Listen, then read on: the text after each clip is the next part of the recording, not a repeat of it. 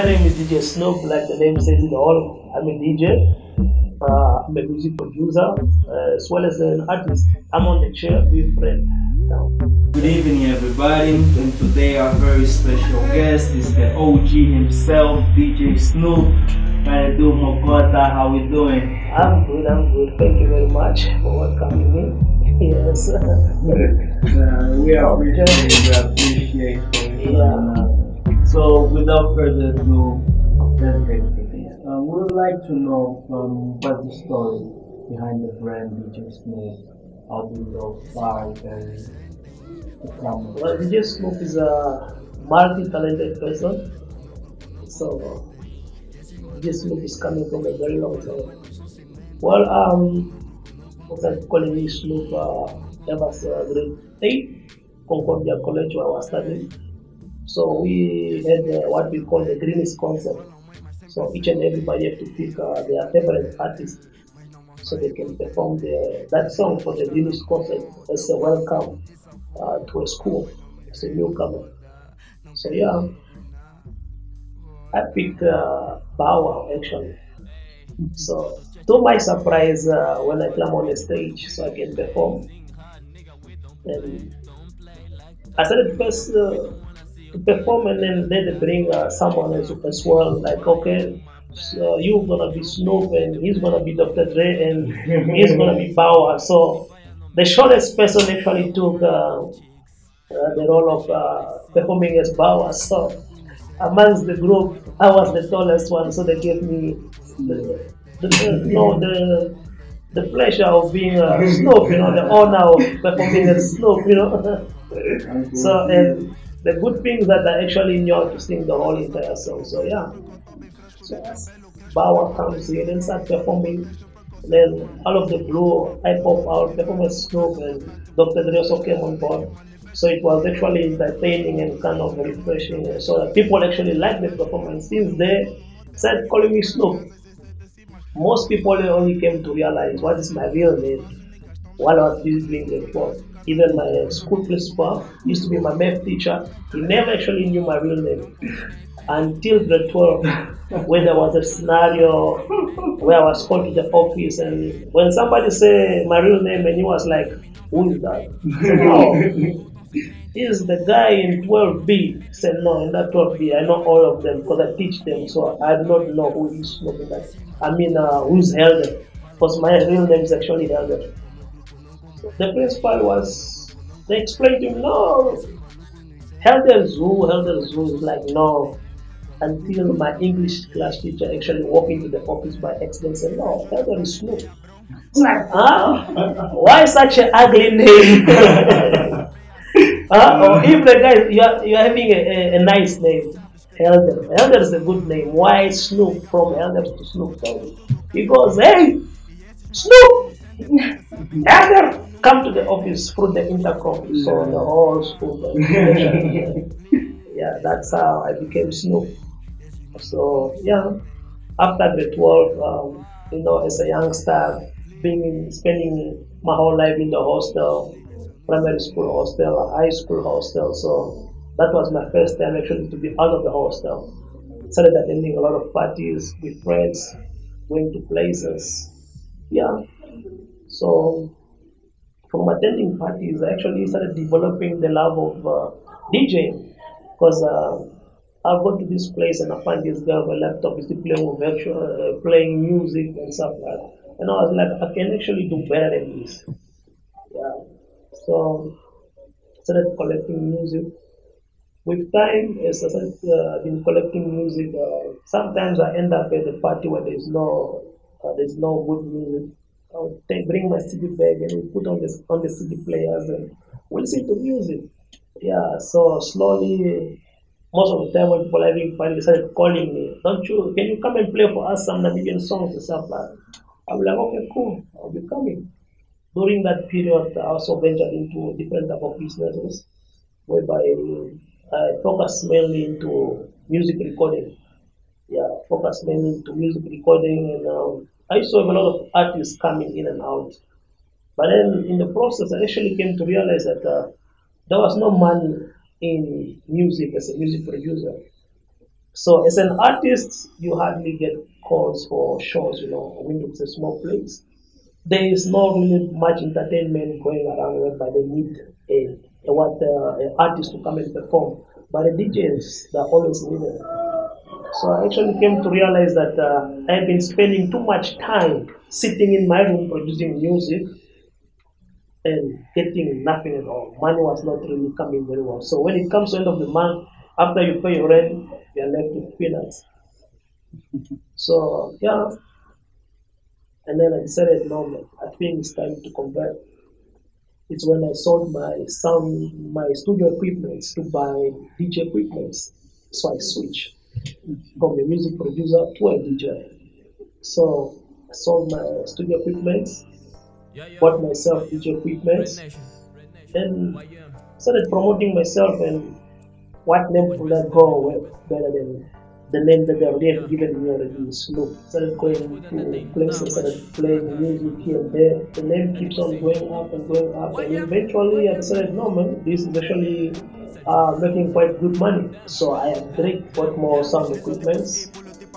And in the meantime, when there's no activities like going on, then I'm actually a car dealer. So I'm traveling to different countries, uh, uh, busy buying cars, selling them in Namibia, some selling in Angola. So in that process of uh, buying cars, meeting uh, car dealers and stuff and meeting new people from different countries, and that's how I started connecting to other people that I'm also DJs well.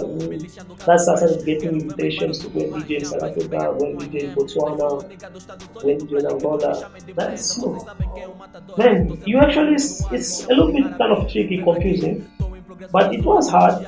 But uh, when it was time for me to switch, I was at the point whereby I've evaluated myself that okay I have been producing music for a long time and I'm sitting here for a long time here money is not coming in so after really evaluating myself the decision actually came a little bit easy because it, it came to a point whereby I'm coming from music, a lifestyle of music still. So basically, I'm still in the music industry, just that uh, I won't be sitting anymore in the studio. Now I can get to explore the world. Yeah, but the fear of having if I don't make it? Uh, what if I made the wrong choice? But eventually it became easy. Yeah, it's a hard decision, but eventually it became easy. I think in French, meet people. So it actually became a fun thing. Yeah, so I actually came to realize that the studio was like uh, being in prison in one city, in, in one place, confined in one place, making instruments. But being a DJ, you are in many places in different different times.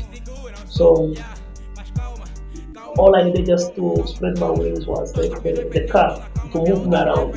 Yeah, that was the difficult part because sometimes you have to climb taxis. Eventually, I got a lot of friends that got cars and they've been taking us around ever It was just it was easy to go. I think about it, what I wanted to when I was a child. Actually, it was never my decision. My father actually made choices for me, what I should become. Because he actually realized that I was good in mathematics, so he wanted to become a scientist. Yeah. So he actually encouraged me to do science field. But for myself as a child, sure, no, I don't need to become. Just became, I just focus on becoming what my father wanted me to be. Yeah. And then when we found out that I became a DJ, was surprised. yeah, there are a lot of factors actually that have put me through, uh, gave me courage to do whatever I had to do so I can be who I am. My parents, uh, especially my father, is a very big uh, factor in my life. So it helps me with a lot of decisions. The good thing about me, myself, as a person, is that uh, I believe in balance positive and negative. Those two things exist. They are there, and that's why the world is in balance. Because you cannot have a battle without uh, negative or positive. So I can be very positive and I can be very negative. In a room where there is uh, probably basically about uh, 100 people who have maybe hope of positive, that no, not worry, everything will be fine. Let's be positive. Nobody must be negative. I can be one of those people that can disagree. I said, no, guys. What if this happens? What will you do? And I know most people don't like to hear that. What if? The only one to hear that uh, it's going to be good, it's going to be fine. No, I'm not that kind of person. Maybe that's why that. Yeah, issues, let me just put it like that. yeah. so, growing up, I've always been like that. I always have a plan B. So if I'm doing music right now, if something goes wrong, I can quickly switch to this. Yeah, so that's I say I'm multi-talented, uh, talented. So I can easily switch from this to that, and I always work with plan B. There's nothing that I do in my life. There's no plan B. Everything I do, there is a plan B. So, because for me to reach here as an artist, it has been a long journey of influence from my father saying, do this and do that. And if I disobey, if something goes wrong, then I know what's going to be the outcome. But one thing that I encourage is that uh, deep down in my head, it's like I'm not afraid of trying anything because if, if something goes wrong, I can always go to my father's house and knock and say, Daddy, I think maybe sometimes I can pick up again. I always have it in mind that if I fail, I can rely on this, I can rely on that, and I can rely on this. Rules of to be successful. Number one, try to achieve your goals while you're still young.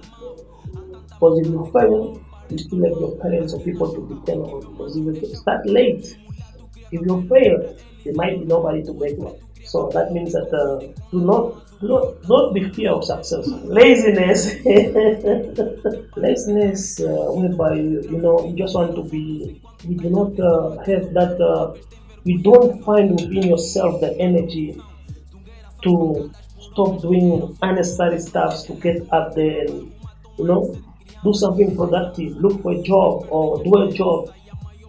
Always have the energy to work do not laziness does not put bread on the table. Uh, communication, relationship with people.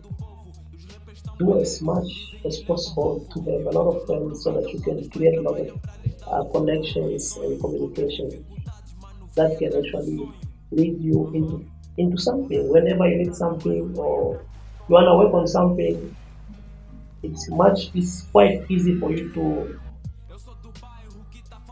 to do whatever you have to do if you know a lot of people. The most important thing of all of them is always put God first. Always. I don't know which God you believe in, but if you believe in God, in a God, you have your God. Whatever God you believe in, but always put God first. Always put God first and ask for wisdom and ask for success in whatever you do. Yeah. Don't forget to pray. Stop. You can make a living from being a DJ. All it's needed is self-discipline.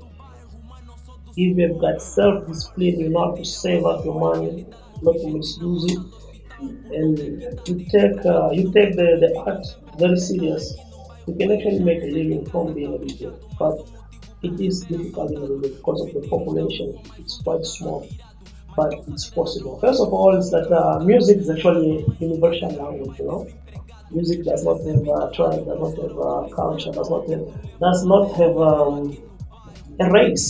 So you can sing music in any language, even someone does not understand. If music is good, it's good. You understand? Yeah, so the problem in Namibia here is not the language they're using to sing their music. It's not the language that they're using to sing their music. I think the problem of tribalism in Namibia it's uh, it's something that people have picked up and developed during high school. Yeah, and I don't think tribalism is coming from people's homes. No, it's not also from homes. It's from high school, not primary school. From high school to university, that's where people started developing and picking up this uh, mentality of tribalism. Because as far as I can remember, I did my I started my grade two from People's Primary School here in Windhoek, and that time I did not even know that this is African, this is Oshirel, this is Oshiwambo. We used to speak only one language, English, and everybody else used to try to speak Afrikaans because wanted to speak like a, a second language. That's how we used to communicate in this uh, you know, school in the hostel. This uh, Oshiwambo, this you know Oshirero, uh, other languages. It it was a language that was mainly spoken like in the rooms, like when we're in the night before we fell asleep, or you can hear people are communicating in their native languages, traditional languages. That was actually never a problem. When we used to play, it was not like this is Wambos playing with Wambos, this is the other playing with the other and stuff like No, we used to play all of us together. So, like I said, I never knew the difference of the. I never knew the difference of the, of these different cultures. But when I went to high school, that's actually when I noticed that something is wrong here. I came to realize that uh, the Wambos were having their own groups, we were busy just the Wambos. And it also have their own groups, just uh, Hereros, and they like actually playing soccer. So it's like the whole soccer team just. If you're a different tribe, for you to join, you need to, need to be good. If you're not that good, you cannot join. Angolans are having their own groups. Yeah, and I was actually shocked coming from primary school to high school, I actually did not know how to fit in. So I was just hanging around with my new grade eight. But in this, eventually this grade eight, started also joining the, the tribal groups. Tribalism is created in high school. And then as they grow up, that's what you see now, whenever you give like, for example, like a, a, a responsibility maybe to a Wambo guy to organize a, a show, you'll first put like these uh, people, like people who speak the language of Shwambo. If you give to Herero, same applies. If you give to any other tribe in Namibia an opportunity to organize an activity, the first one to put first the people who speak the same language as them. It's not because they want to listen only to that language, just because it's I don't know. It actually makes me you know, thinking about it. Yeah, it makes me tired thinking about it. But um, looking at it, uh, this tribalism, it's really hard. it's not easy. It's really hard, uh, especially for the DJs that uh, would not have like their own equipment at their houses, and for those DJs that not have any other source of income, it's really difficult on my side, it, it actually did uh, affect me quite a lot because uh, as a DJ, I also provide sound. I provide DJ equipment, so every weekend at least somebody hire something. But now there's nobody to hire anything because there's no party going on, no musical activities happening right now. It's tough for the DJs out there who are going through the same situation. Hopefully, it's a lesson that uh, depending only on one source of income, especially in the music industry, they should change the mentalities and at least uh, start having like a side thing. Like, for example, Lola, Lolo Goraseb, the Namibian legend soccer player. Yeah. I used to be surprised uh, each and every time I'm driving in the morning to drop my kids at school.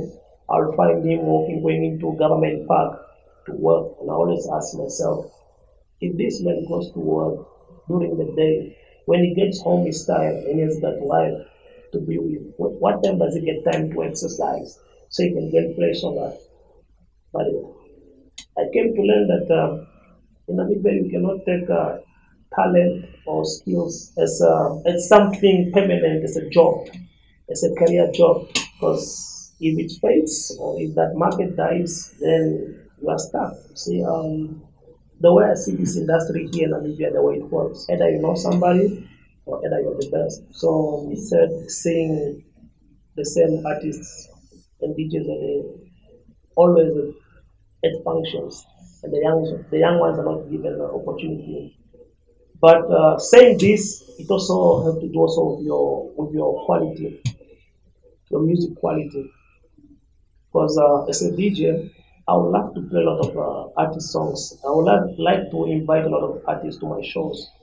But if your music quality, the way it was mixed and mastered, it's not good. It's not good to play on the speakers. I will be disencouraged to play your music. Yeah, and for the artists, there are a lot of artists there, but I don't see the music video clips. So I wouldn't know what the newcomers that I can invite for my shows. Yeah, so they should promote themselves more, shoot video clips, uh, do good music, better lyrics. And for the big companies who are busy organizing big events, I think it's time. I think it's time for them to start uh, exploring the music market. Because uh, one thing I realized that they don't really explore the music market. They just uh, they just keep on working. It's like the mentality, the mentality set just said like, okay, the only artist we know is who and who and who. So, and these are the people probably can bring up crowds and stuff like that. So, whenever they, they, they an event or activities, they only call them. I do not know why they keep on using the same artist. Maybe it's lack of knowledge or maybe lack of uh, lack of research. Yeah. So at fire, finally, what I can say is that uh, I think the event organizers they should start uh, doing more researches on artists and music so that they can start uh, doing a, a, a fair, do justice and fair to everyone in the industry to give each and everybody a shot. Any artist wants to get in contact with me or any DJs, anybody in the music industry or any other type of business, uh, the easiest way to get a hold of me is uh, via my my mobile, yeah, via my mobile. Give me a call. If not, they can use my social social media platform, Facebook, WhatsApp, Instagram, like they said. There's no better place to make a party than Angola itself. you know, there is no better place because number one, the population is just too much. You know, Angolians don't need a language for them to celebrate music. Everything that is good, they love it. So my best experience was actually in Angola because uh, without even people what uh, seeing you play, just hearing your name, even they don't know you, they are suddenly sh- cheering up. You understand? Yeah, and yeah, it's man, the love in Angola for music is just too much, too powerful. So the best place I ever enjoyed playing was Angola because the crowd was just too beautiful, warm, welcoming, cheering, and they come out in huge numbers. So it's just grateful. There's nothing I can say, the words cannot express. Favorite memories.